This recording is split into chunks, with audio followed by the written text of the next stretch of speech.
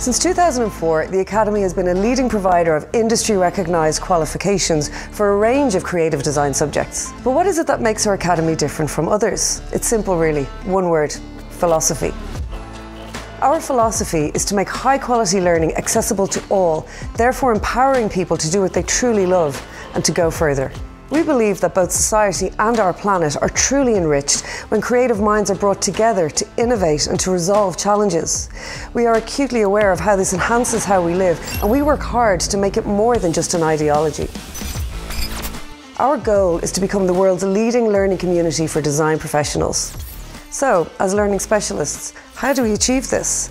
We work together with a shared vision to make the world a better place by bringing creative minds together to pursue their ambitions for professional, environmental, and social enhancement. And we believe that everybody deserves a chance at third level education, and accessibility is a guiding principle of the Academy.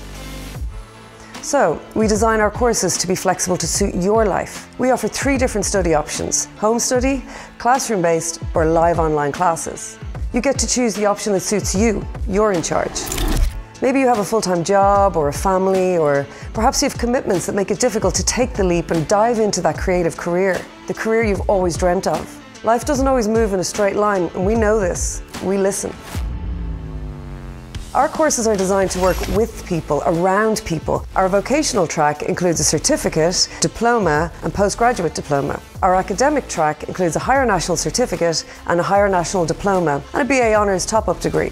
Whether you decide to choose home study, classroom based, or live online classes, our tutors are dedicated professionals who are always on hand to guide you. The power of a truly transformative experience is right here. I dare you not to be inspired.